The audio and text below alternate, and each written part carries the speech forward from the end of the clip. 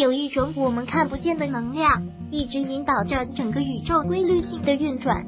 正是因为它的作用，地球才能够在四十六亿年的时间里保持着运转的状态。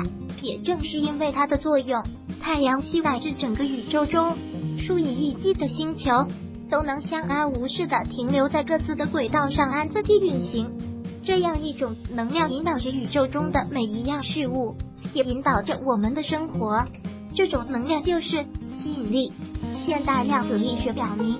世上的万事万物都是由能量组合而成的，而能量就是一种振动频率，每样东西都有它不同的振动频率，所以才出现了那么多不同事物的面貌。无论是像珠子、椅子等有形的物体，还是思想、情绪等无形的东西，都是由不同振动频率的能量组成的。比如一拍音叉，当你敲响其中一个音叉，发出清脆的高调乐声。没多久，其他的音叉也会发出同样高调的乐声，它们的声音会互相应和，产生共鸣，甚至越来越大声。振动频率相同的东西会互相吸引，而且引起共鸣。